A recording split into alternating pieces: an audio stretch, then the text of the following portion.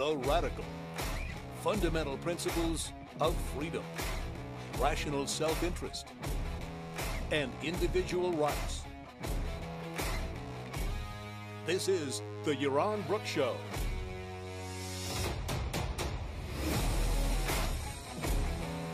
All right, everybody. Welcome to Yaron Brook Show. Last minute pivot here. New topic. Thank you, Cook.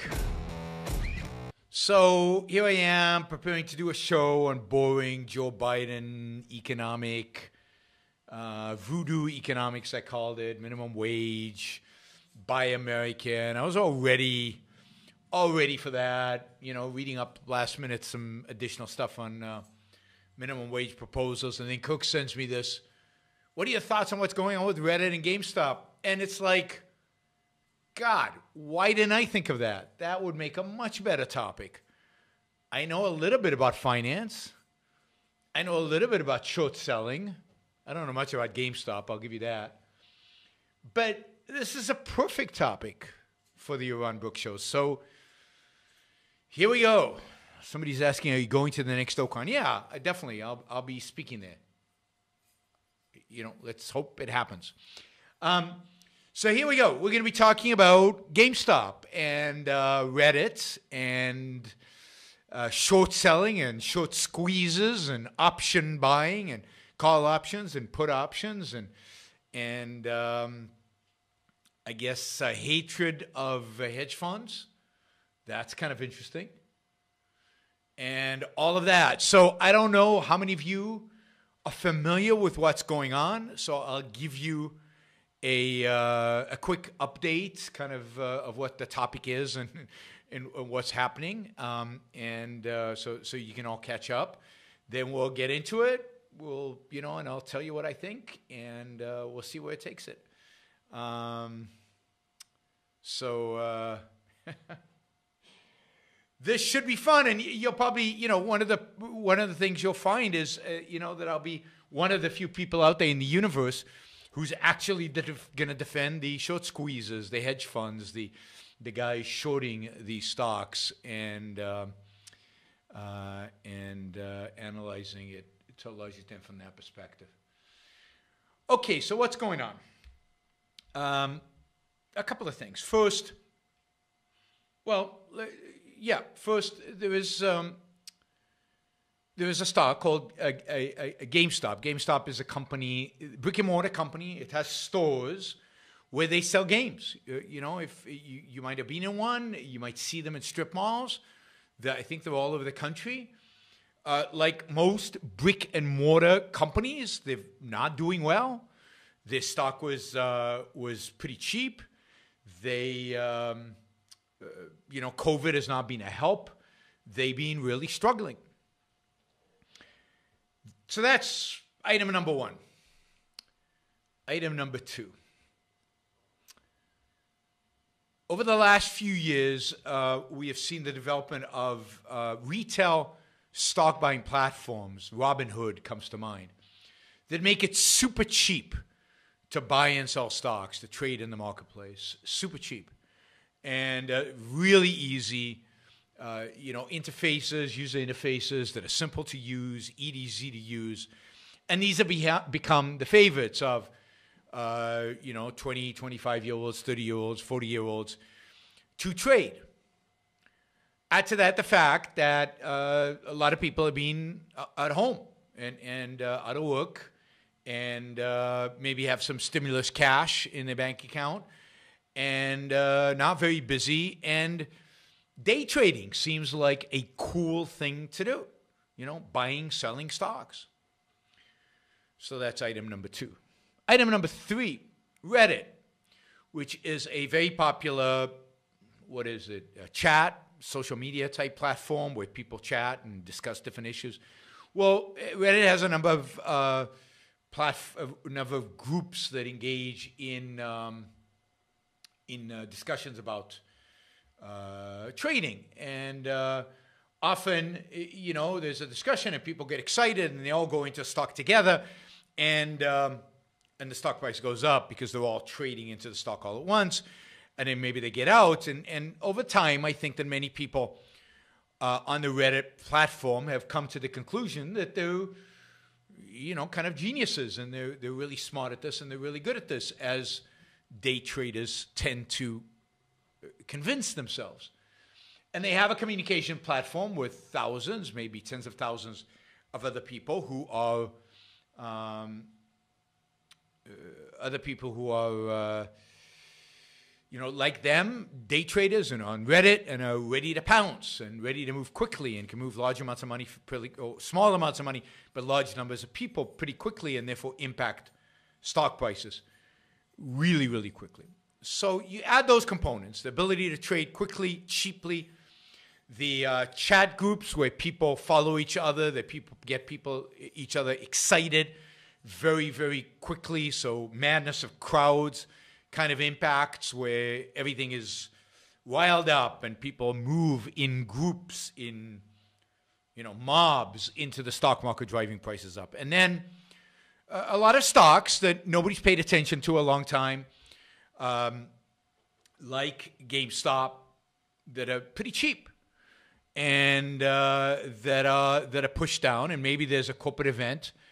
Uh, I think in GameStop there was a, a, replacement of CEO, and the stock starts moving up because some people think uh, a little bit more optimistic about the stock.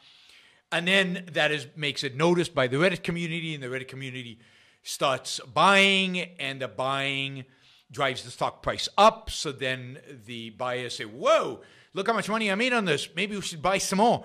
and they buy more, and then they buy more, and then they buy more, and it goes up and up and up, and they get more people excited. Hey, you're missing out. If you don't invest now, you missed out on a great deal. And then they use options. Options. Um, options is where you buy an instrument that you make money. If the underlying asset, the stock in this case, goes up a lot, you make even more than what the stock rose.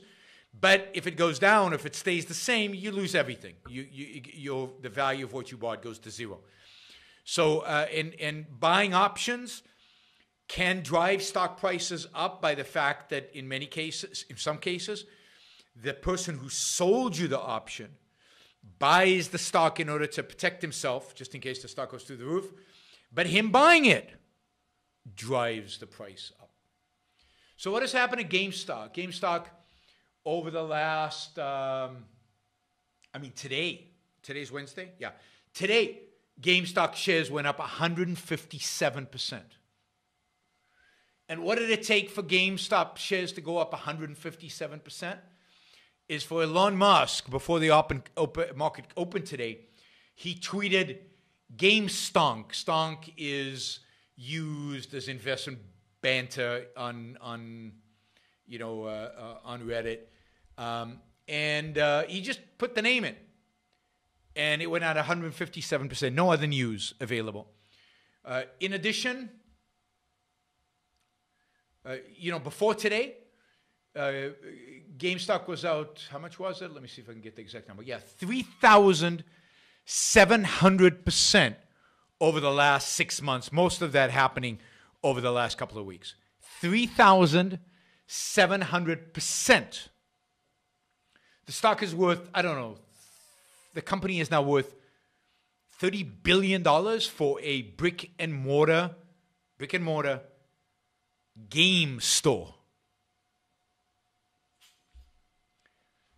Complete nonsensical, completely makes no sense, complete ridiculous. Now, part of what drives the stock up is let's go through.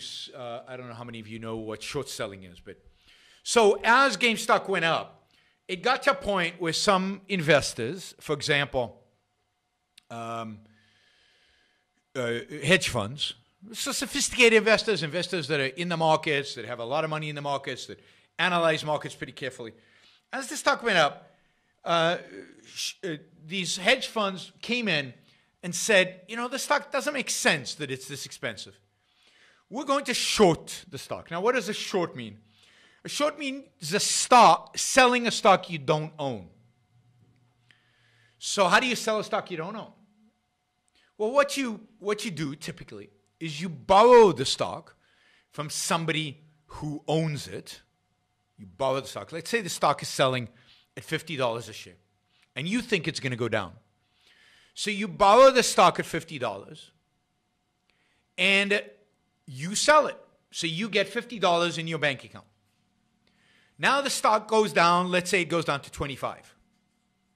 So at 25, right, you now you know, uh, you now buy the stock at 25 and you return the stock to the person you borrowed it from, right? Because you still owe the stock. How much money have you made? You made $25. You made 50% on your so called investment, right? Remember, you borrow the stock, you sell it, then you buy the stock when it goes down, and you return the stock to the person who you borrowed it from, and you made money if the stock goes down. What happens if the stock goes up? Well, let's say again you borrowed the stock, stock selling at 50. Let's say the stock goes up to 100. Let's say the stock goes up to 100. And the guy says, I want my stock back. Or then you have to buy the stock for $100 and give it to him, and you lose 50. Let's say the stock goes to 200 or the stock goes to 300 or the stock goes to 3000 3000 now you got $50 in your pocket and you owe the guy a stock that is worth $3000 now imagine you did it with more than one stock so part of what happens that causes the frenzy on the upside is called a short squeeze. At some point, the guy who, uh, let's say I'm the guy, I borrowed the stock, I'm sitting there, the stock keeps going up and up and up, and I think, oh my God, it's my ability to lose money here is infinite. It can keep going up, and I'm just losing money the more it goes up. So what I do is I, I buy. I cover my short, and that's called a short squeeze. When the stock market is, stock has gone up so high that I can't afford to wait. I have to buy the stock and return the stock to the guy I bought it from and get out of there. A short seller has unlimited downside risk. He can lose, in theory, not in reality, but in theory, an infinite amount of money. How much can he make? The best he can do is double his money. So it's very asymmetrical risk. You can double your money if the stock goes to zero, but you can lose an infinite amount. An infinite amount. So the short squeeze is when those shorts get out. Now, when a stock goes up 3,700%, and it's not just one stock, uh, the, you know, the stock of BlackBerry. You remember BlackBerry? The phone, the, the, the email thing? It's, it's a, it's a awful company. I mean, it used to be great, but it's can't compete. It can't compete with Apple, can't compete with Samsung. It's been skyrocketing. So a bunch of these stocks are skyrocketing. There are companies out there, the hedge funds out there that specialize in shorting these stocks. Right? In shorting these stocks. Now, is shorting a good thing or a bad thing? Well, shorting is if so. Okay, we'll get to shorting bad thing, good thing in a minute, right? Uh, because that's a whole other discussion about stock prices. So as the price is going up, the shorts are getting squeezed. They have to get out. They lost a huge amount of money. And at least in one case, Melvin Capital, Melvin Capital was almost wiped out. Almost wiped out. A lot of these hedge funds use leverage, um, and uh, it, it's it can it's very very very dicey for them.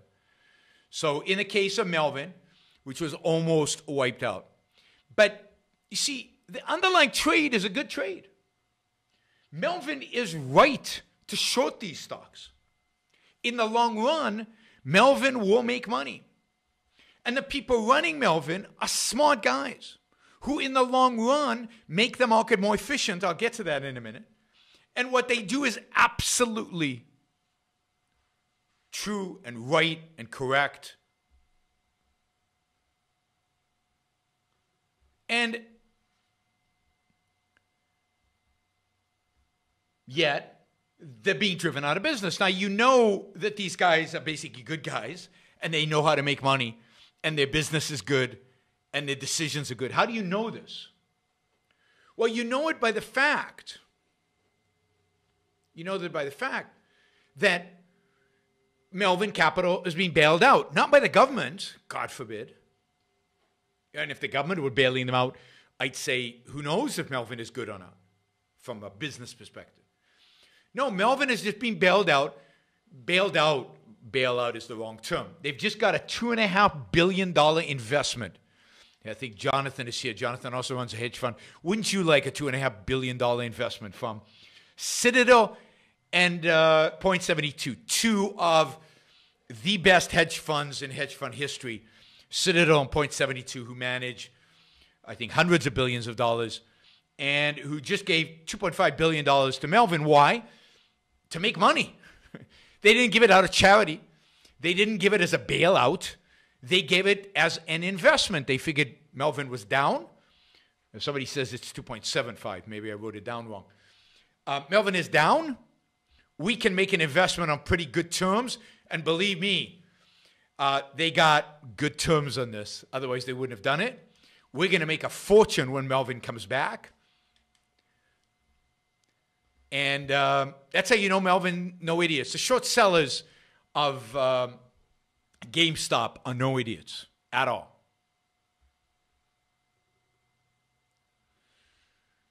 So, okay, so we've got stock going through the roof.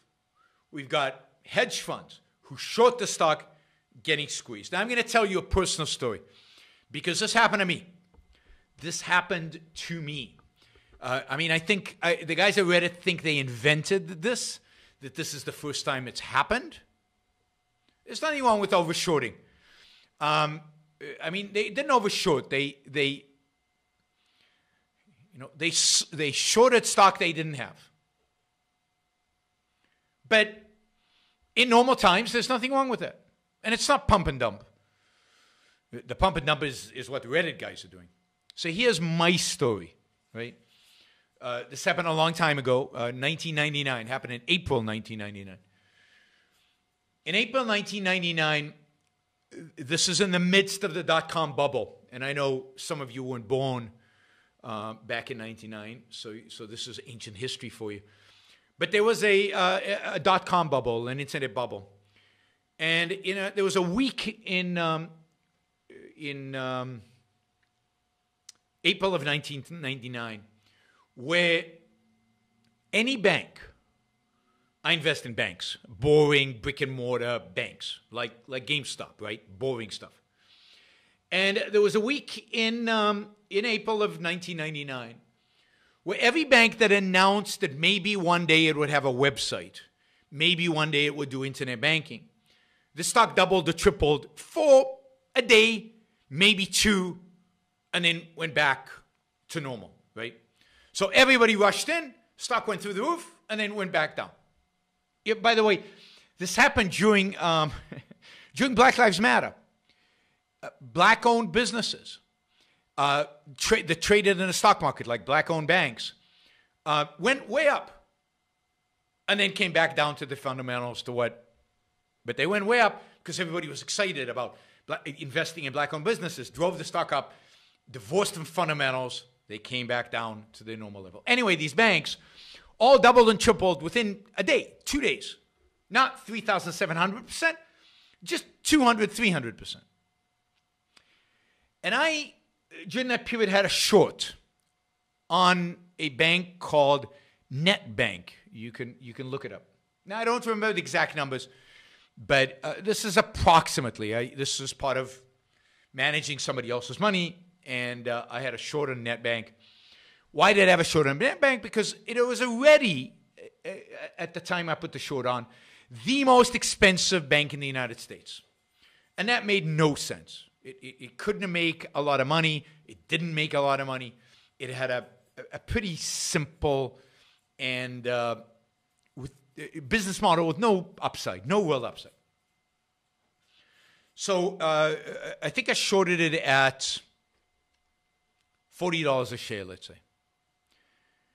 In a matter of two days, The stock went from $40 a share to $160 a share. Now, I just to give you a sense of how much money you can lose in a short, um, I had a $200,000 investment in it, so maybe I shorted it at less than 40. And at the peak, when it gone up, I was down a million dollars. So, in a sense, a $200,000 investment, I would have lost the 200,000 plus another 800,000. So I was down a million dollars on this stock. Um, my investor called me up and said, What are you doing? Um, I said, Don't worry. The stock's going to go down. There's no question it'll go down. It's not worth 40, never mind 160. It's just not worth it. And he said, Look, it's not how you do this. Get out. So the next day, luckily, it went down a little bit. I got out. Uh, we still booked a huge loss, hundreds of, you know, uh, close to a million bucks. Within two years, two years, the stock went to four. Within four years, the stock went to zero. It basically went bankrupt. So, even though I was right, it was I, I was in the same position as Melvin.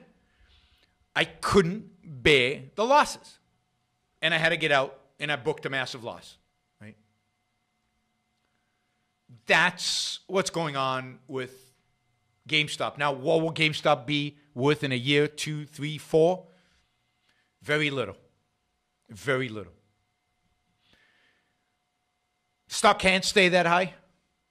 You can buy and buy and buy, but at some point, at some point, it's obvious that the stock price is completely divorced from the fundamentals. KL says, Yaron Brook, I told you so, as if I would say I told you so. No, yes, but that's not the point. The point is, as an investor, you can't do that. You can't, there's only so many losses you can absorb. There's a certain level of losses you can't absorb as a fiduciary managing other people's money you can't keep absorbing the losses. And in the dot com era days, stock prices could go up and up and up and up, just like right now. You don't know where it ends. You don't know how much. You don't know when your investor is going to want his money back. You just can't do it. And when you withdraw your money, when you withdraw the short, you're buying stock, which helps the bubble, and the bubble can keep going. At some point, all bubbles burst. At some point, the price comes down. Now, some people are going to make a lot of money on the way up here. The smart ones are going to get out in time. A lot of people are not going to be smart. A lot of people are going to be the people who say, Oh, I missed out. Let me get in now. And at some point, the stock will tumble. Stocks prices are not random. Stock prices are based on the potential of a company to produce cash flows. A stock price is the present value of future cash flows. In other words, of, of future profits in a sense, but it's not accounting profits, it's economic profits. So the present value, the value today of all the stream of cash that this company is going to generate in the next 20 years. And indeed, in an interest rate environment where interest rates are very close to zero, cash that a company generates in 20 years is very valuable today if you believe there's going to be no inflation, if you believe interest rates are not going up. So stocks should be higher given low interest rates. But they can't be this higher.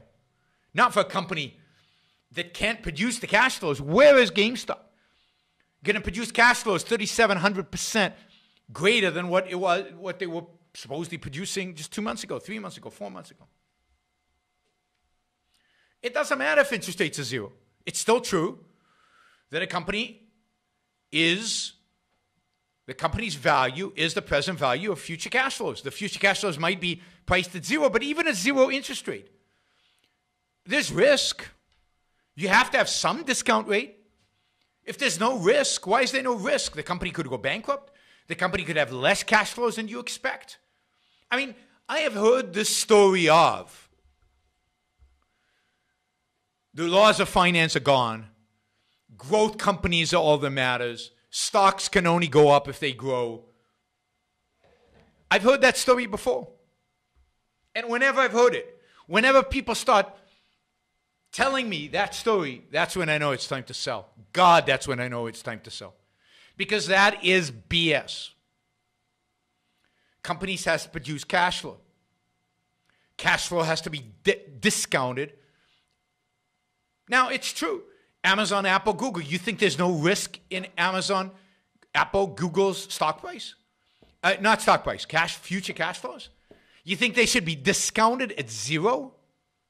As if they're a certainty? That is ridiculous. Now, interest rates are low. So your inflation premium is very low. But at some point, at some point, uh, any one of those companies could fail. Not fail in the sense of go bankrupt, fail in a sense of produce earnings that are disappointing. So I don't know exactly what the stock price of Amazon, of Google, and Apple should be. I suspect lower than what it is today, but I, I, I don't know. I don't know. I haven't run the numbers. I can guarantee that the stock price of GameStop and BlackBerry are not where they should be. Of course, tech is exponential, but from of, of what levels? Is it always exponential? Is there no st- ending it? I mean, if tech is exponential and you run the numbers, Google, Apple, and Google, Apple, and what was the th- Amazon will basically own the entire world if that were true. None of that is true. Yeah, you can you can imagine, uh, you know, uh, uh, uh, that you know invest stock prices can only go up, and you will suffer the consequences, and you will suffer the consequences.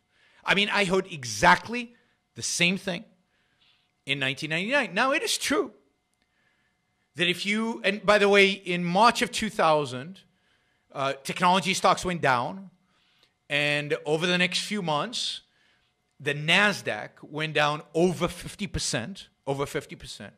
It took almost, a, I think it took a decade or, or more than a decade to get back, to get back to where they were. Are tech stocks right now in that position where they could drop 50%? Certainly Tesla is. Certainly many other stocks. By the way, Many of those tech stocks in 1999 went to zero. Some of them went down 80%. Right? So, stocks have to reflect the fundamentals. Stocks have to reflect the underlying company's long term profitability. Stocks have to represent the riskiness associated with that long term profitability. I don't know what is better than tech stocks. It depends on it depends on what? It depends on the on uh, on the valuation. Yeah, the hyper growth profits, but if it's all priced, if that's already in the price, then it could still go down a lot. You could easily overprice tech stocks. Easily. You don't know what the return on investment is going to be in the future on a stock, even if you know what the return on investment is going to be in the future in the company. So every time markets have detached fundamentals from stock prices, we call that bubbles, they end badly. People lose a lot of money. A lot of money. And um, I suspect somebody, some people are making money right now. Somebody's going to lose a lot of money on GameStop, BlackBerry, and these other stocks that the Reddit people are driving up. Fundamentals are not dead. Fundamentals will come back. Fundamentals might be dead for a month, they might be dead for a year, they might be dead for two years, three years. But they will come back, and they will come back with a vengeance. And when they do, some of you will be holding the bag. Will be holding the bag. And I, again, I'm not giving stock advice. I'm not telling you what stocks. I don't know if Amazon, Google, and Apple are overpriced or not. When I say fundamentals, do you mean reality? In a sense, yes, but a, but a particular aspect of reality. The reality of the reality of the profitability of the company, the reality of the ability to make money. I, I love uh, the reality of the ability to make money. That's a reflection of the stock price. And when people start making arguments that Apple goes up because you love your iPhone, it's time to sell Apple. I'm, I'm not saying it'll go down tomorrow, but this is exactly the kind of uh, thinking detached from reality, thinking detached from economic fundamentals, thinking detached from financial fundamentals. That it's when people say that, like, you know, Tesla is really, really expensive, and, and John Galt of all people tells me, Have you ever been in a Tesla? By the way, the two are unrelated, completely unrelated. You can produce the best product in the world, and the, your stock price could be higher than what it should be. Everybody could love your product, and your stock price could be higher than what it should be. And I heard exactly the same thing about pets.com in 1999. Where's pets.com right now? It's zero. And it went to zero very quickly. And a bunch of other things that were before the time. Now, I'm a huge fan of technology. I'm a huge fan of technology stocks. And long term, I think technology is going to be great. And when these stocks go down in the next, call it correction, I'll probably be buying. Would I buy tech stocks right now? I don't think so. Now, I'll be doing some research to, to, to try to put a number on these, but right now, no, I would not buy tech stocks. Certainly not Tesla. Um, and uh, and uh, you know, I'm sure there there are tech stocks that might be undervalued, that it might be good deals. I don't buy ARK investing or any kind of investing. You know, investing principles like economic principles. They don't change with the mood. Uh, it is true that technology uh, has some exponential growth, and technology grows at a faster and more dramatic. Good technology, technology that wins in the end, which is very hard to determine who's going to be the winner. That technology does have unique growth opportunities, but that and stock prices have to be correlated, and and and right now they're not correlated.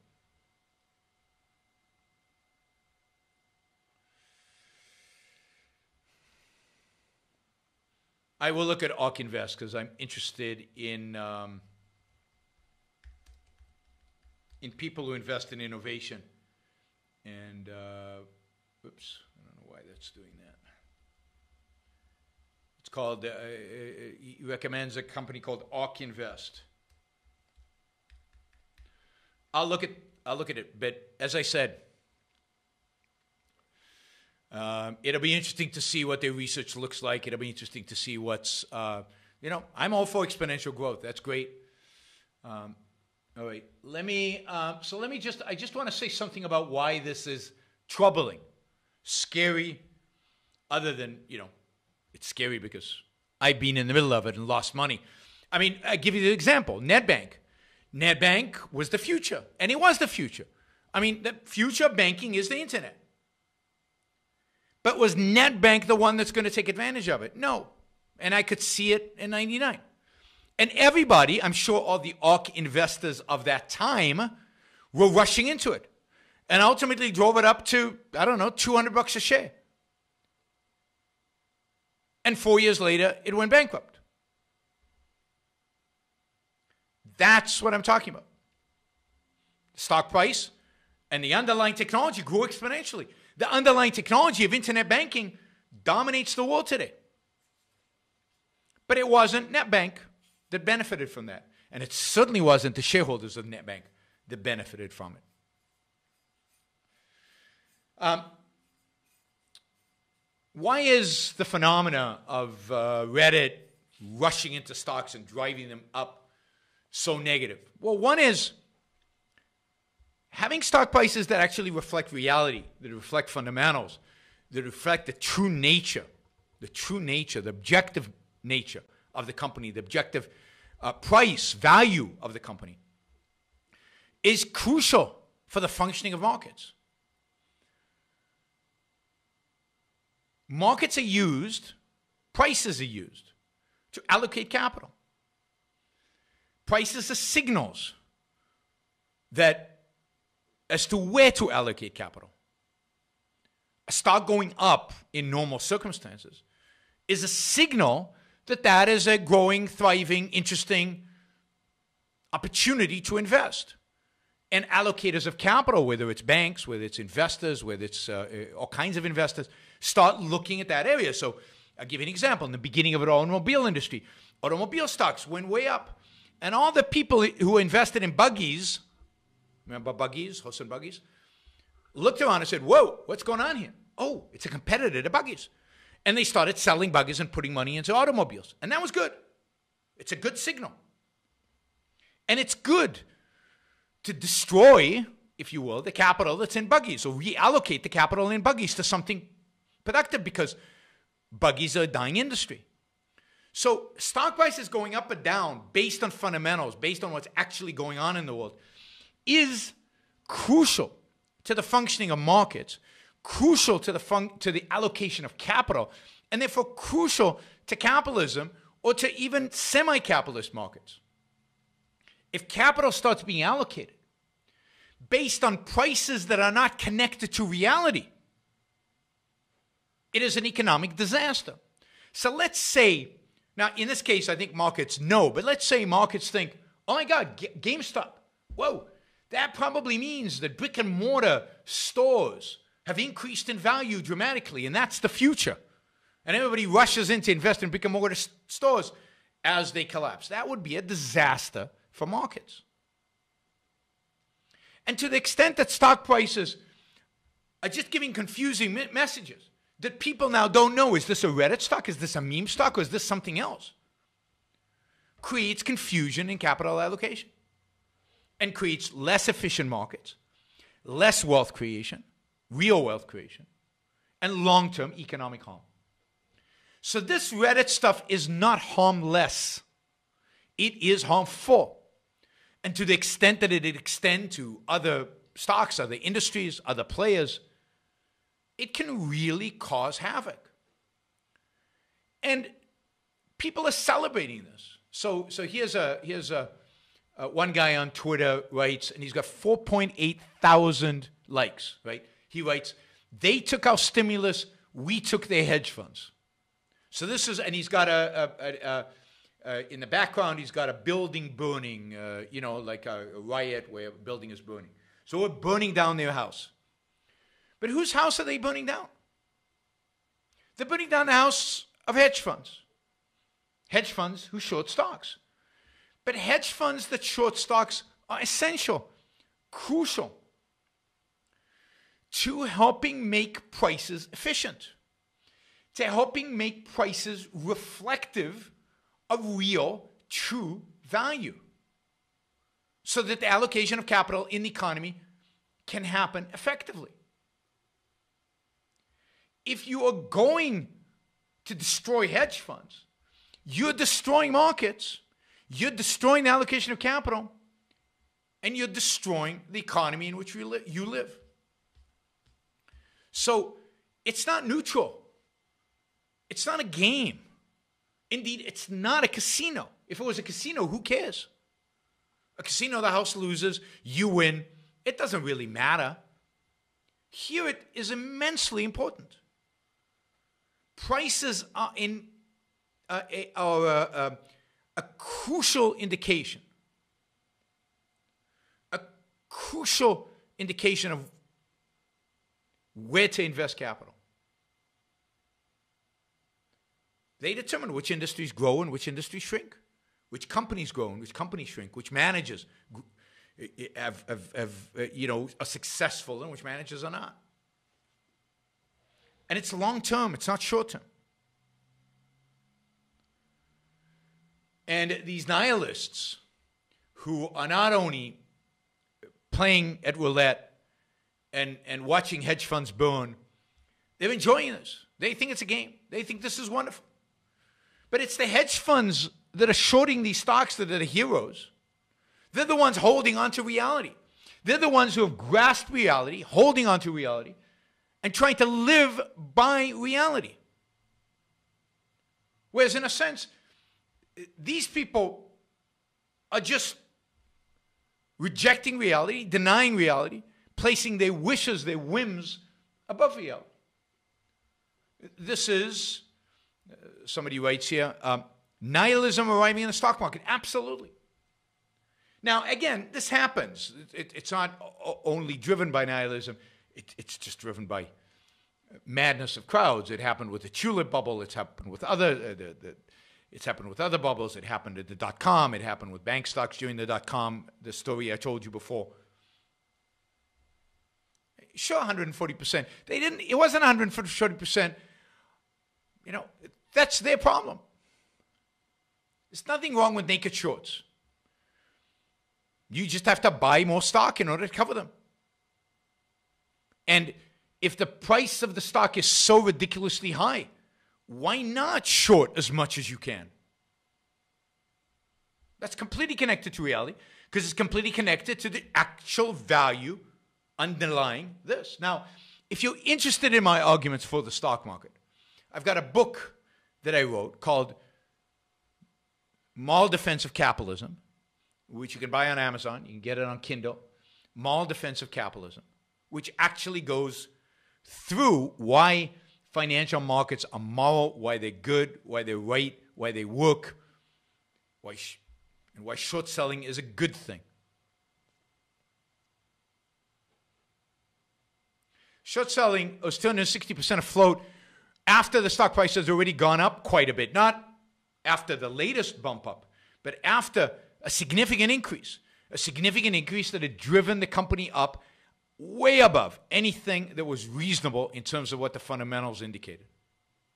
And again, I don't have a problem with shorting more than the float. Right? The people who crash the plane are the people who playing this as if it's a roulette wheel. It's not the moral defense of capitalism, it's the moral defense of finance. And it came out uh, three years ago, and it's co authored with Don Watkins. It's Don Watkins and myself, The Moral Case for Finance. And you can find it on Amazon. Just put my name on Amazon, and you will find it. There's a hatred of hedge funds. Why? Because people don't understand what they do. They don't understand the importance of a stock market. They don't understand the importance of stock prices. They don't understand the objective value of marketplaces. And they resent wealth. They've always resented wealth derived from finance, always going back to Jesus kicking out, kicking out the, the money changers from the temple. Uh, money derived from money has always been resented, resented. And again, I go into great depths in analyzing the hatred of financiers in the Moral Case for Finance. Let me just look. Uh, I thought maybe I had a copy back here of the book, but I can't. I can't see it. Uh, yes, and I connected to anti-Semitism in the book, but the markets of Finance on Amazon, uh, in defense of finance on Amazon. I, have given a course on it. I, you know, you'll find it. Um, you'll find it. Uh, you'll find it in the bookstore. Um, all right, that's my commentary on Reddit. Uh, it, you know, if you own these stocks, sell. Here's my investment advice: if you own BlackBerry or GameStop, sell. You might miss out on on the next layer up, but you will also miss out on the big, big move down, which is coming, and it'll happen quick, and it'll happen fast, and it'll whipsaw these people. They won't know what hit them they won't know what hit them when it happens. And it's going to happen. I mean, remember, these are not technology companies. These are these are brick and mortar companies. All right. Uh, let's see.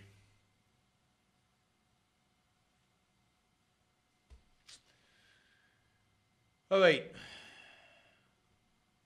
Now, some of this, somebody's asking if this uh, related to QE. Yeah, some of it is related to QE. I think some of it's related to the fact of stimulus checks.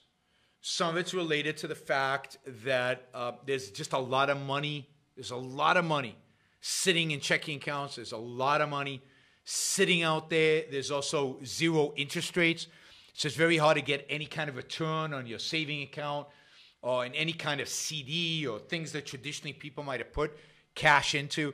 And people are figuring out it's free money. The government gave it to me. Why not jump in and and uh, and uh, you know gamble with it? And I think the fact that Robinhood has made this so easy, so cheap, so cost less is um, it, it, it is part of this. It, it makes it easy for people sitting at home, and everybody's at home. People are not at work, and you know why not? Why not? So, yes, um, this is related to QE because of the amount of money that is slushing around in the system. Um, I, I, don't know that it could have happened otherwise. Uh, it, it's really hard to tell. And if and again, it's it's it's a it's a consequence of of of zero percent interest rates, which is related to QE. And it's not really QE; it's physical stimulus. It's just the the fact that we keep increasing the amount of money people have out there, and money held in the banks, and money in checking accounts, and so on. Unintended consequences: zero commissions. Yes, not that I'm against zero commissions, but yeah, partially this is what happens. Um, any everybody feels like there's no cost to playing to, to going in a casino, and they think they're just as smart as the hedge fund manager. What does he know that I that I don't know? Um, I'd be fair value of GME is GameStop. I, I don't know. Uh, probably uh, what's it trading at 134? Um, is it worth more than? Um, it's probably not worth more than 10. Is my guess. So uh, if I had a guess, but uh, don't don't use my criteria. Somebody says around four, probably a better estimate than my ten, but certainly less than ten uh, from the 138 that it's uh, it's been uh, it's been at. So um, yeah. Yeah, I mean, new owner, somebody says new owner is going to move it 95% online and close most stores. He's going to close most stores. Not going to get any value out of it. It's unlikely he owns the stores. They're probably leases. Taking it online, why is that a value? He's then competing with Amazon. He's competing with other online gaming stores. Um, he's not. It's it's it, his profit margins are not going to increase. He's going to decrease costs. So maybe instead of four, it's worth ten. Maybe, but it can't be worth 138. right So, uh, you know, it's hard to tell what the dollar is worth. Um, Derek says, to be fair, Tesla, Bitcoin, US dollar aren't real either. I don't know if the dollar is not real. It trades regularly against gold. So I think we have a good estimate in gold terms of what the dollar is worth. Maybe um, gold buyers are not aggressive enough in buying it, but I don't know anybody else better to estimate the value of the dollar than those who are buying and selling gold. Um, in terms of Tesla, yeah, I, I think I think Tesla's way overvalued. But again, I haven't run the numbers, so I don't know by how much it's overvalued. Um, and uh, what was the other one? Bitcoin. Yeah, Bitcoin. I have no idea how you value Bitcoin, so I don't know how you make it real in any kind of sense. Uh, I don't know what the value of Bitcoin is. Um, and uh, Let's see. Let's do. Uh, after watching many hours of your content, I guess you deserve five bucks. I don't know if to take that as a. I'll take it as a compliment. I, I think I deserve more than five bucks. You know, if you've watched hours of my content, what does that work out to be? Ten cents an hour or one cent an hour? So I'm not complaining. Thank you for the five dollars, but it's a little weird way to say it, and um, so I don't know. Maybe, you know, maybe maybe that's good, maybe it's not. Okay. Uh, let's see. We've got a bunch of questions. I answered that one already. Um, Okay, so we're gonna do some super chat questions uh, related to uh, to this topic. We'll start with related to the topic, and then we'll move on to others. The first one is, uh, what are your thoughts? Um, yeah, Emmanuel, sorry, I, I got the question. So I copied all the questions from the Phoebe chat onto, I've got it here. So don't worry, you don't have to repost the question. I appreciate the five bucks, the five dollars, but you don't have to repost the questions. I've, I've got them here. I copied them over. Uh, thank you, anonymous user, who just, uh, uh, I appreciate it. Uh, yeah, so other others of you who have watched hours of my videos who would like to contribute five bucks to what I do, uh, you know, in the super chat, I, I do appreciate it, even though, um, because I know for some of you, $5 is a lot of money. So I didn't mean to be flippant earlier. What are your thoughts on Chamath? I can't even pronounce his name. He likened shorts, shorting stocks to un American as we are hoping for company to fail. In my opinion, that is just efficiency. He has some Elon Musk s popularity to him, but I largely view him as a scam artist. Yeah, I mean, that's ridiculous. Um, we want we don't want unproductive companies. We don't want inefficient companies. We don't want buggy companies to succeed. We want companies that are inefficient, unproductive, badly run, um, old technologies to lose. We, we want those companies to free up their capital so that we can put it into the next Amazon, the next Apple, the next Google.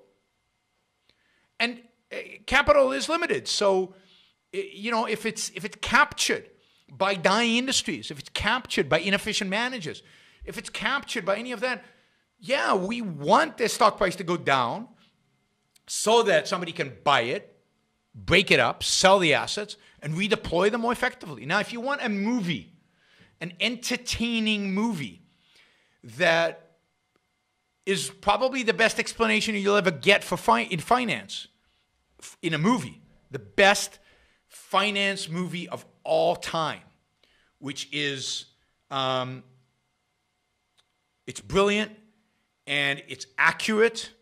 There's nothing in the movie from the perspective of finance that is not true. I mean, I would challenge a little bit of the character, the characters in the movie and how they how they portrayed but in terms of the actual content about finance, it's brilliant. And that movie is Other People's Money. Other People's Money is brilliant. The Big Short, no. Other People's Money. Not Trading Places is awful with regard to finance. Awful. Um, most movies about finance are awful.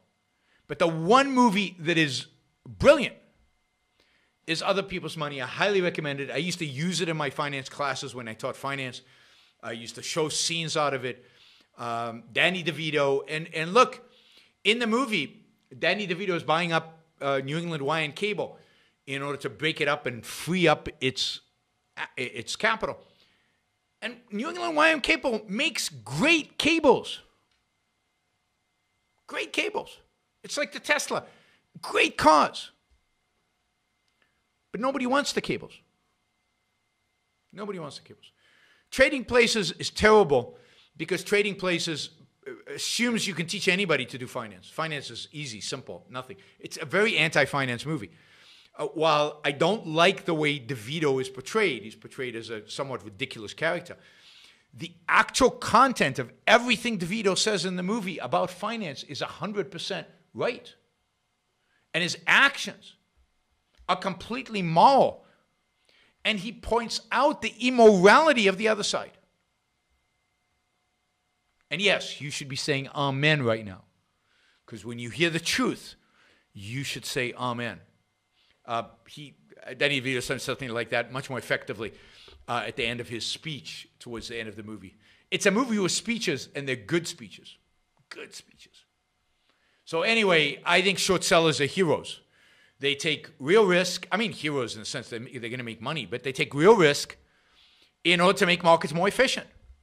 And you know, one of the things I do is I short stocks in a particular industry with a particular focus, primarily to hedge risk. But shorting is not a bad thing. Uh, let's see. Now they banned WSB from Reddit and Discord. I don't know why they banned WSB. you know, I'd have to look into why that happened. Um, we'll get to that later. Later. Um, all right. Wall Street bets, WSB, kind of have a occupied Wall Street 2.0 vibe. Yes, it's but it's more worse than Occupy. It's a real nihilism. But I got in and got out of GME when it doubled, so here's some. Yeah, I mean, if you can take advantage of this, do it, but be careful. It's better to get in early than late and get out, get out quick. And don't regret you only doubled. You could have quadrupled. Don't think that way. Say, I doubled. That's great. I'm happy I doubled. Right? So if you're going to play the game, get out quick and don't regret staying in until the peak. People who regret go back in and they lose everything. Um, thank you for all you do. And I asked the hate hedge fund question, paying the piper. Thank you. Um, the group took into account market account market information and took a risk against it and won. They read the shorts.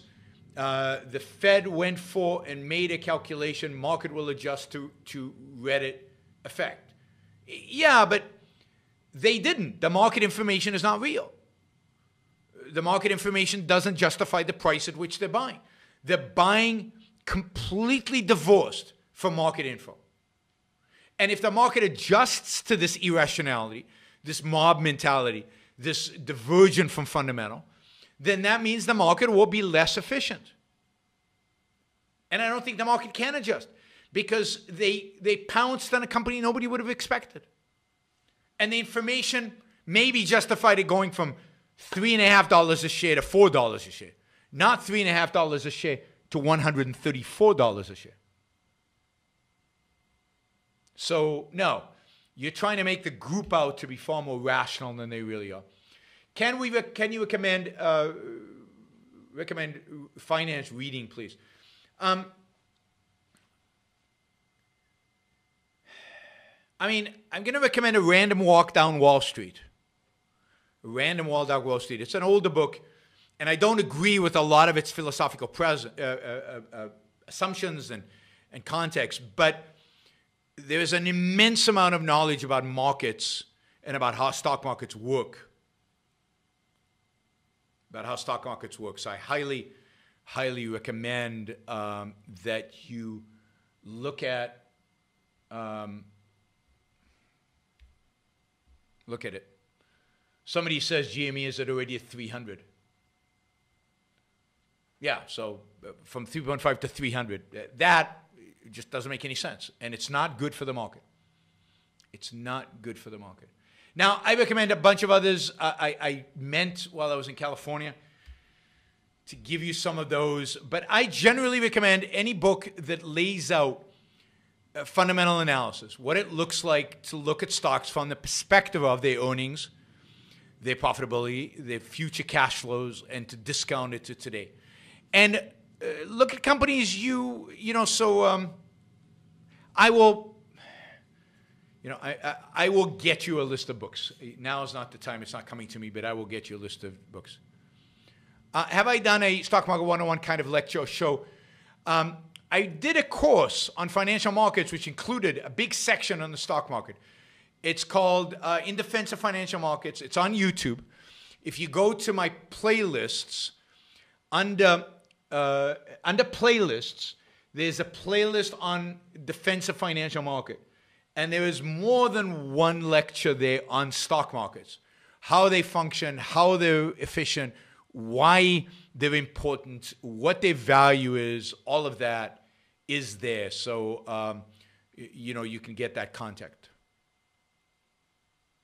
Um, would you call the Reddit GameStop situation kind of Wall Street trolling? Uh, maybe, but I, not really, because I mean it's not new. That's the other thing about this. Um, it's as I told you. I told you the story about how I lost, you know, a million bucks um, years and years ago from the same phenomena, and that was on, you know, a lot of it was happening on Yahoo Chat, which was a lot less efficient than um, than Reddit is. But it was the same basic phenomena, and the same thing happened at Tulip Mania, Tulip Mania, and, and things that happen is happen over and over and over again over the years. So, um, no, I mean, uh, I am not a, I, I, I am not a, I'm not a believer that the layman, ordinary folks who are not studied finance, are not professional financiers, can systematically make money in the stock market. I don't believe it. Uh, I mean, sure, some people can, they get lucky. But you think you're smarter than the Citadel and the people at Citadel Point 72 who have decades of experience and are off the charts smart and know finance and know how to look at these companies? You're not. Now, it's true that a mob can uh, can catch Citadel and Point 72 and cause them to lose a lot of money. But that's they can't do it consistently. They won't do it consistently. And it's it's going to be you know, it, it I, I think a lot of people, a lot of individual people lose money. I mean, I remember in 1999 when my finance students would tell me that I don't know anything about finance, that they were day trading, they were making a fortune. And I was wrong in terms of looking at fundamentals. And uh, that, and then, you know, and they were all running out of class to day trade. And uh, came 20, uh, came the year 2000 and they lost a fortune. They lost everything they made and much, much more.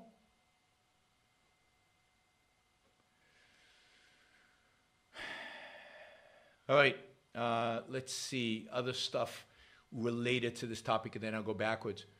Um, have you chatted with Peter Schiff about building, sharing a studio together? I know he's mentioned building a new studio down PR. I'll I'll ask him if he's building a studio. I, I hadn't heard that. He lives. He doesn't live close to me, and the question is where he would build the studio. Um, but I like having the studio at home. I, I, you know, I don't want to have to drive to do these. I don't have the time. I'm, I'm super busy. I do, you know, the nice thing about Peter is his podcast and his professional life go hand in hand.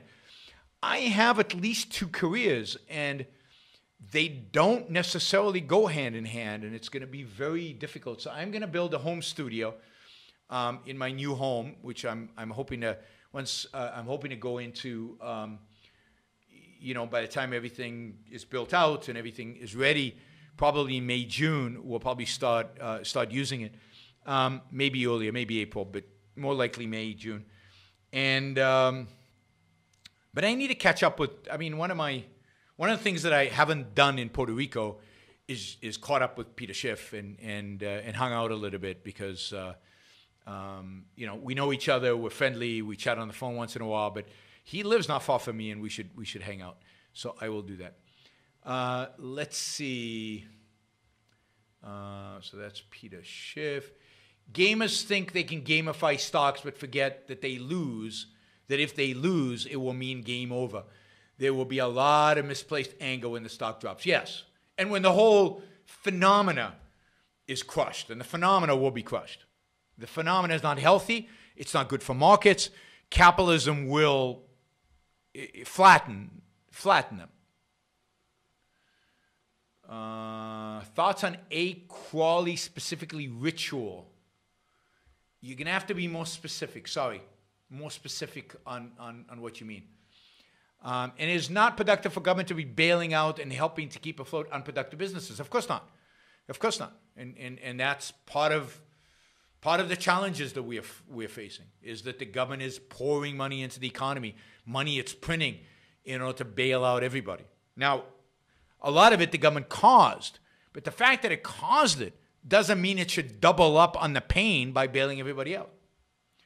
Do you use options? I don't right now, but I will be in the near future uh, for hedging purposes, not for not for anything else. To hedge, I'm, I'm looking at, uh, you know, I'm looking at using them as a hedge. Um, how do you feel about the Motley Fool? You know, uh, I'm not a big fan. I, I, haven't read anything super insightful there. I thought they started out pretty well, and then they became, I don't know, just just normal stock pushes. Sometimes interesting articles, sometimes not. Uh, so I'm, I don't know. I'm not a big fan. Uh, you know, and again, I, I, I don't. I don't think that there are publications out there that are going to give you stock tips that are worth anything. I mean, maybe private newsletters, But if everybody can see it online, pay no fee to see it, then it's not worth anything. Um, yeah, if you like the show, please like it. Please press the like button. It helps with the algorithms. It really, really does help. We've got over 200 people watching and only 70 like likes, so please up the likes.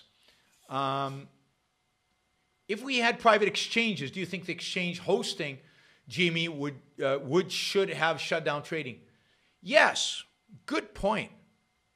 But yeah, I think I'd have to think it through, figure out exactly what was going on. But if the exchanges were truly private, and they're not today, the the, the basically extensions of the SEC, extension of government, uh, then I, I think so because I think if an exchange got the reputation of uh, an exchange that was easily flooded by, by Reddit types, then hedge funds would avoid it and it would lose a lot of commissions.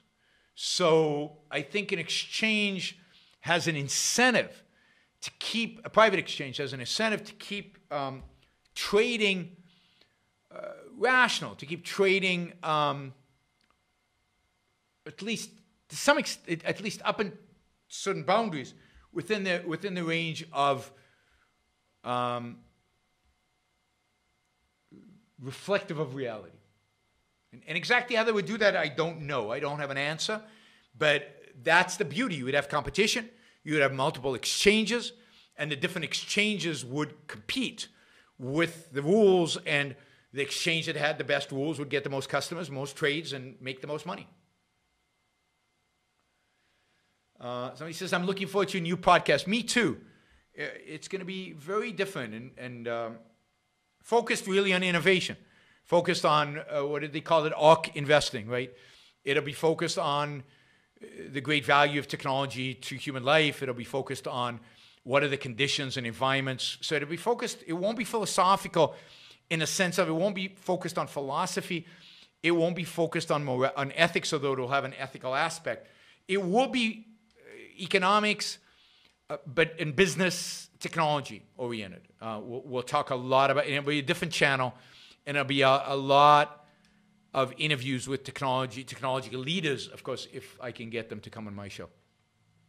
You've said what's happening with GameStop doesn't make sense, but sorry, have you explained why it happens? Yeah, I explained why it happens. It happens because a bunch of kids think they can um, uh, you know, drive up the stock price and uh, use options to do it. And, uh, and, and they did it. They, there's enough of them with enough money to be able to short squeeze the, the short sellers. So I went through all of this at the beginning of the show. Maybe you missed it. But yes, absolutely. I explained why. And it doesn't make any sense because stock prices should be, should be um, connected to reality. I don't understand what you mean by define very fine. What are you very fine in what context? Did I say something was very fine and I need to define it? So explain to me what very fine is. Um, that's Murphy asked that. Let's see other questions around this. So yes, I explained why it happened in the first part of the show. Um, Larry Kudlow's famous line in the former CNBC show: "Free market capitalism is the best road to prosperity." He should turned out to be a con. Yeah, but he was always a con. One of the reasons he would never have me on, he was never have me on, is uh, because I would outflank him on the capitalist side, and he he he was afraid of that, and and and so he only had me on the show once, and it was clear that that he looked like a non-capitalist when he when I was on the show, and that's not the impression he wanted to give people. Uh, will you feature Blake Scholes on your new podcast? Yes, he's one of the people I would love to invite. So, yes. Um, let's see. When are we getting the Yaron Brook ETF? Can we join BHZ? I mean, uh, uh, I can't market BHZ on this show. I mean, that's that's a no-no. SEC will come afterwards. I can't say anything about BHZ. Uh, you know, Yaron Brook ETF, it, it, will be, it's possible that out of this new podcast venture, uh, and it won't just be a podcast, there'll be other aspects to it, articles, newsletters. It's going to be a full blown project that that might translate into a product, an investment, an investable product. And if it does, then I'll definitely let you know about it to the extent that the SEC allows me to uh, market it and to let people know about it. So um, right now, the product that I have, I, I certainly cannot talk about here. Um, okay, uh, let's see.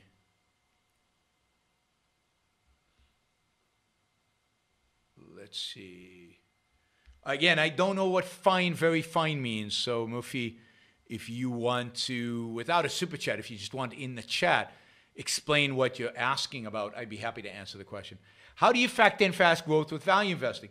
Well, you, you just factor it into the future cash flow. So let's say you believe a business will go to 100% a year of, um, of free cash flow. That's the cash flow after all expenses and everything, taxes, and everything is paid then you you project uh, next year it's going to make $100 the year after that $200 the year after that $300 the year after that $400 and you project it out let's say 20 years and then you discount it back based on how confident you are that those projections are true based on the uh, the risk you know how risky your projections are. And the riskier your projection the higher the discount rate you want to use to bring it back. Nathan says gme to 1000 and if Nathan is investing in GME with assumption that it'll be a thousand, Nathan is very likely to be one of those suckers that gets caught when this stock plummets. Plummets, right? That's the danger. What are my thoughts on Jim Chanos? I don't know Jim Chanos, so I, I, apologize, but I guess I'm showing my ignorance. But there's a bunch of stuff I don't know. So if you want to send me a link to something Jim uh, uh, Jim Chanos wrote, oh, who he is exactly, then I'd be happy to look him up and comment on it. But I don't know who he is. Um, UBI would be a disaster, and and uh, and certainly the United States of America at this point cannot afford UBI. Jim Chanos is great at analyzing financials, but he's a fool with technology. I, you know, famous bear um, yeah, I mean, I know bears. Uh, bears are mostly wrong because stock markets tend to go up. He showed a Tesla and lost. Well, we'll see. You know, shorting, as I said, is risky business, and um, the question is what happens in the long run with the short. Was the short right? Timing is everything, and and timing is almost impossible to get right. Almost impossible to get right. Does buying broad based index funds still make sense in this market? I don't know. I mean, I'm very, very reluctant here to give you advice about what makes sense and what doesn't make sense, particularly in this market. I mean, I have my investment portfolio outside of my professional investing is in broad based index funds, tilted towards cheaper stocks, tilted toward value, because I think that I, I think that stocks like Tesla don't make any sense. And I don't want to be in Tesla. So I tilt my portfolio towards stocks I understand and stocks that I think are potentially undervalued. I would be happy to buy technology stocks, innovative stocks, technolo- stocks that are going to grow, that where the underlying companies can grow exponentially. But I want to do that at valuations that make sense to me. You know, if the valuations make sense to you, good luck, but it, they don't make sense to you. Uh, let's see. Okay, that's that. Um, okay. All right. Uh, I think that's all the questions I have on this topic. So I'm going to run down some uh, questions that are not related to the topic. Um, Jordan Peterson is a great example of having a high IQ while simultaneously being completely irrational and detached from reality. Yeah, but there are lots of people like that. I mean, you know, a lot of people who you hate even more than Jordan Peterson. You know, Noam Chomsky, who I think is one of the really, truly horrible thinkers in the world, has got a very high IQ. Um, and, and I think, you know, Sam Harris is an, a, a huge IQ, and I agree with some things he said, but other things he's completely detached from reality as well. IQ is no reflection of your ability to connect to reality. Go one other Jordan Peterson question I had here. Missed your last show, so you couldn't so couldn't ask. But if Jordan Peterson believes romantic love is only about reproduction, how can he explain the love between me and my boyfriend and other same-sex couples? I don't know. I don't know. Uh, I mean, I think this is where he's a conservative. I think he thinks you're some kind of aberration, some kind of, in a sense, perversion. That, that uh, you know, you're a evolutionary joke, right? And and I think that's what he thinks. So I, I, I don't, but I shouldn't put words into his mouth. I don't know, but I, I, you know, if you follow this on, that's what it looks like. Somebody else says, great show on Jordan Peterson romance. It's unfortunate that he's influencing a generation of men to equate happiness with delusion. I agree completely. I, I think he's doing massive, um, you know, massive uh, damage to a whole generation of young men in particular. How can there be an economic collapse under Joe Biden? How can the government keep giving hundreds of millions of people thousands of dollars a week in unemployment? And will paying rent being optional become the new normal? It can, it, it, might, but then uh, these buildings are going to collapse. These buildings are going to go nowhere, right? And uh, you're going to see it as a disaster. So uh, there is a good chance there's going to be an economic collapse under Joe Biden. Uh, certainly, there's going to be slow economic growth and, and potentially stagflation under Joe Biden. Uh, but I think there would have been uh, slow economic growth under under Trump. I, I don't think there is anybody in the political map today that would actually do the things that are necessary to establish high economic growth. Uh, with Joe Biden there, and, and with Trump, there was a real possibility of collapse. Remember, all the stimulus packages were supported by Trump, including the $2,000 check to individuals. So the printing of money and distributing of money nonstop and unemployment benefits and all that is bipartisan at least with Trumpists.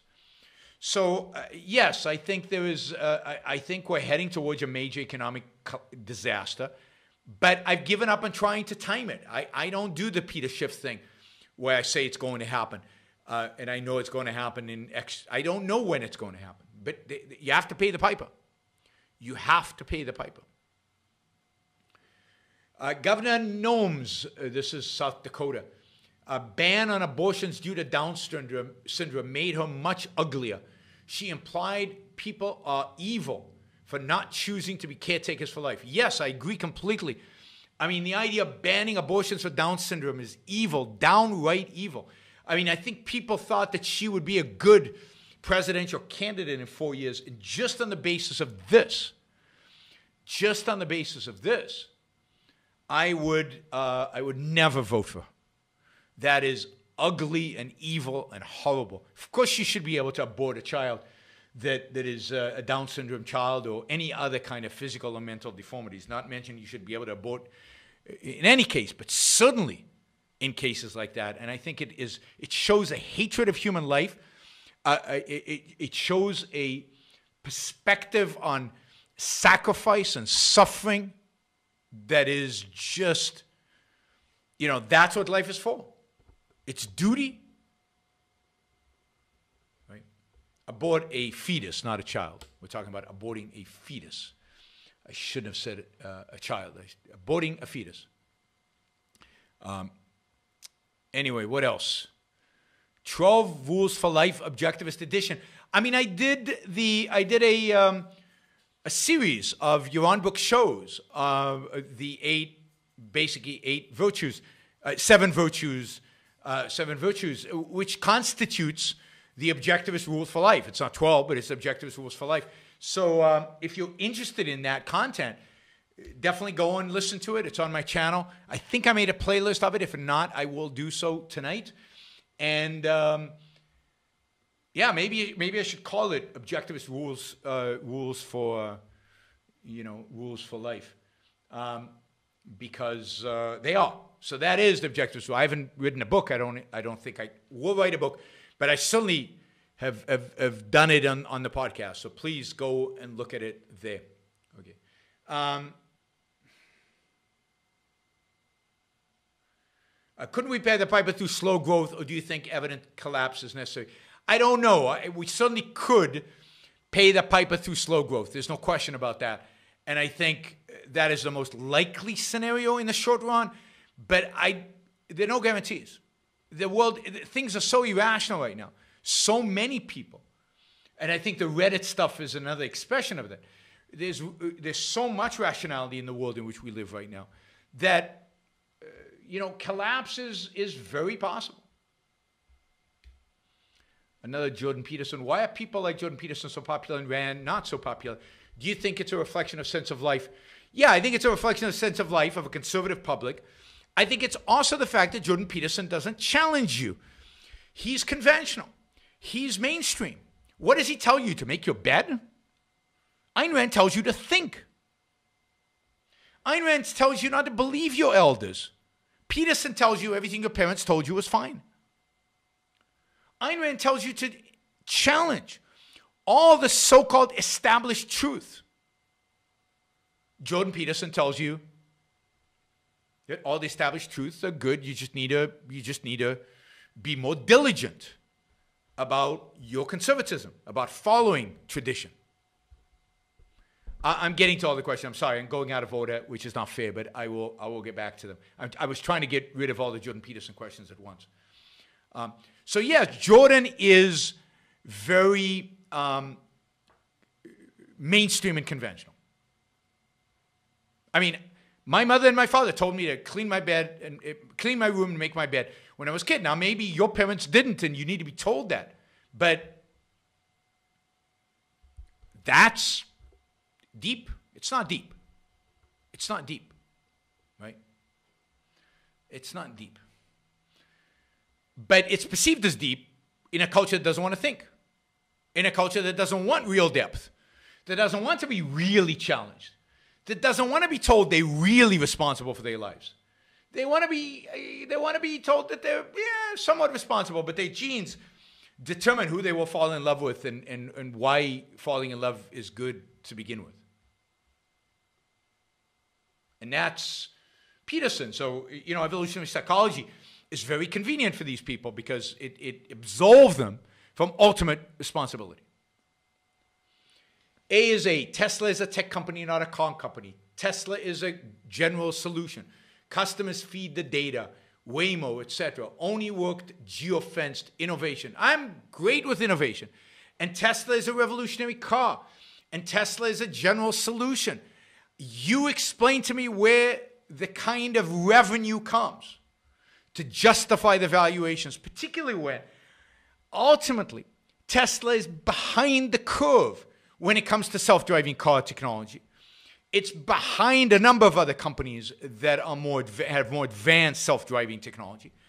And if it doesn't have a car, if its car is not the most important car out there, then it won't have the data and it won't have anything to sell. So where the revenues come from, and even if even if you believe they will dominate, even if what's it a general solution to?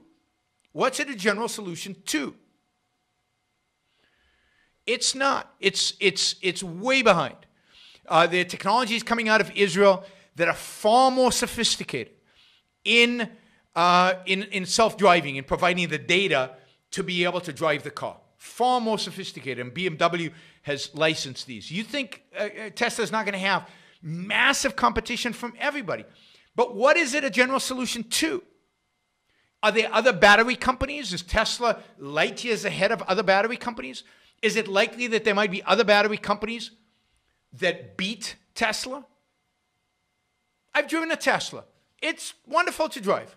I don't like it particularly, but it's wonderful to drive. Great. So what? It's a subsidized car. It's a government car. Why? I mean, I have no desire for a Tesla, given that the government is subsidizing it because it couldn't, it, it couldn't survive the, the, in the marketplace without the government. So but on on the basis, it doesn't matter that he couldn't he could survive in the marketplace without the government. That's right. Nothing matters. Facts, reality, finance, numbers, dollars. None of that matters. None of this matters. So, what is the solution exactly for? I mean, even Elon Musk thinks the valuation of Tesla is absurd. And they're, you know, again, if it's a car company, its margins are going to be very thin. If it's a data company, it's going to have to have a lot of cars to accumulate the data. And there are a lot of other companies that are selling a lot of cars that will accumulate data and compete with them. So it's not clear that their data is going to be more valuable and the margins in the data are going to be that valuable. Um, is it a battery company? Well, there are going to be lots of people producing batteries in the future and providing them and getting the data and providing that data to the market. So I'm not saying Tesla is worthless. Tesla is a great company and and uh, and and it's really interesting technology and it's doing amazing things and Elon Musk is clearly a genius. But is it worth the price that it's at? That is a completely different question than it is a good company. The two are not necessarily related. The two are not necessarily related. You're saying they have 5 billion miles and going. Is 5 billion a lot? Or is it a little? I don't know.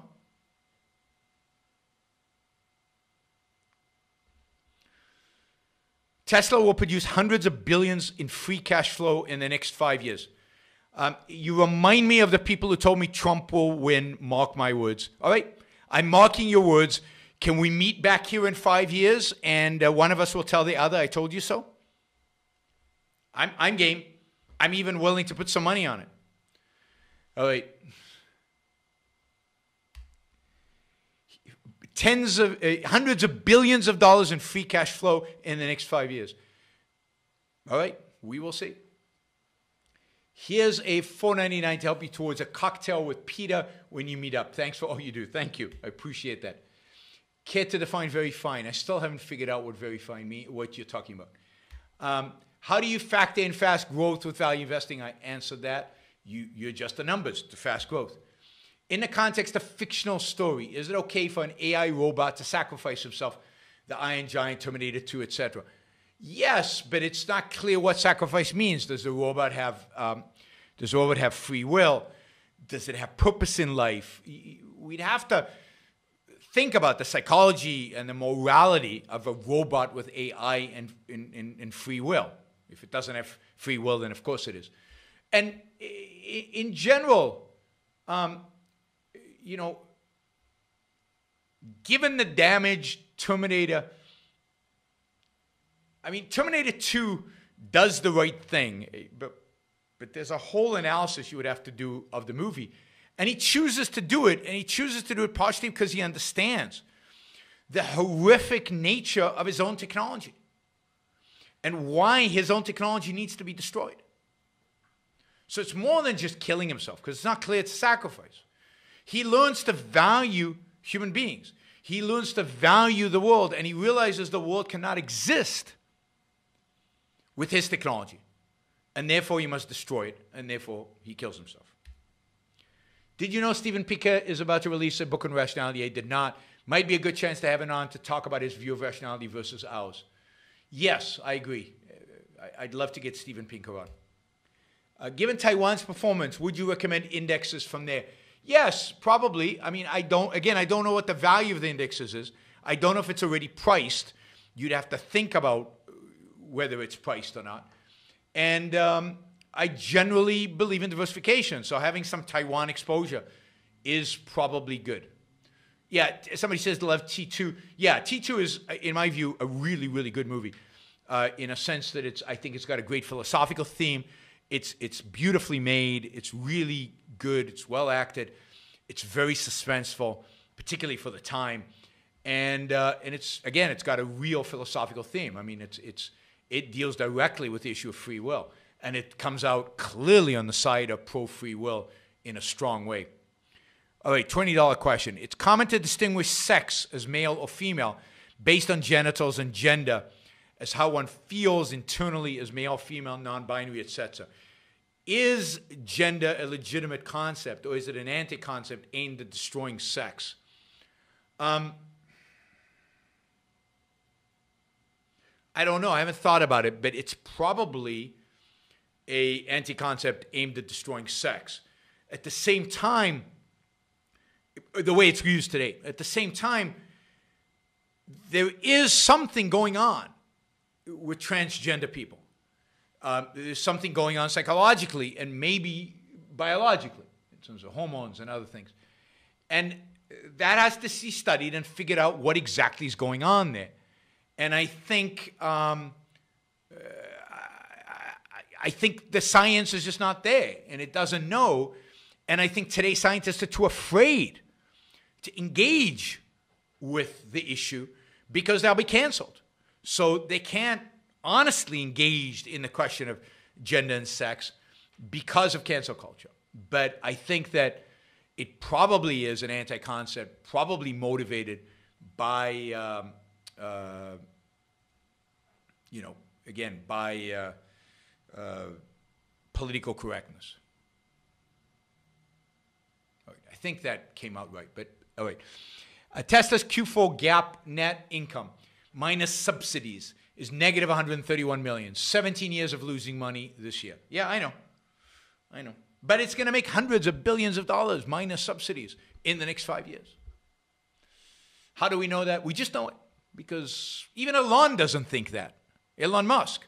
But we have people on the chat here who know more about Tesla than Elon Musk. And they know what it's worth. Uh, what corporation company in history do you think has contributed the most to the benefit of an individual? The benefit of us as individuals? Probably Standard Oil, probably JD Rockefeller. I mean, if you think of what oil is powered, if you think about what oil is made possible, if you think about uh, all the products that are made of oil, if you think about how much cheaper he made oil, uh, the internal combustion engine, plastics, everything else that came out of it, I, I think that it's there's no question that that corporation probably had a greatest impact on individual life more than any other company in history. And you know, at this point, we're getting to the point where you know today it's probably Amazon, but it's hard to tell because. Um, but yeah, Amazon is is is huge in terms of changing people's lives and direct contributions. Um, and then, of course, you, you know, yeah. All right. If Fed says is no chance of inflation in the next decade, could they be wrong? Do they know any errors in the analysis? Yeah, the Fed's always wrong. When has the Fed been right? Is the question. I mean, they use bogus um, economic models. They uh, central planners, and certain the central planners know. Did you think they knew that there was going to be inflation in the 70s when they were uh, doing what they did in the 60s? Do you think they knew they were going to drive the economy into a great recession, a great depression, when they did what they did in the uh, late 20s and early 30s? Do you think the Fed knew what they were doing when they drove the economy into the Great Recession in 2008? Well, behavior from 2003 to 2008 drove the economy into a Great Recession. The idea that the Fed knows what it's doing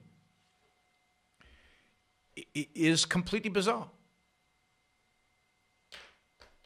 It's like thinking that, you know, that central planning works, and it doesn't. It doesn't work. Uh, if you like the show, if, if you like the show, if you get value from the show, please like it right there. You can also contribute to the show at yaronbrookshow.com slash support. Uh, please subscribe. There are probably a lot of people listening to the show who are not subscribers.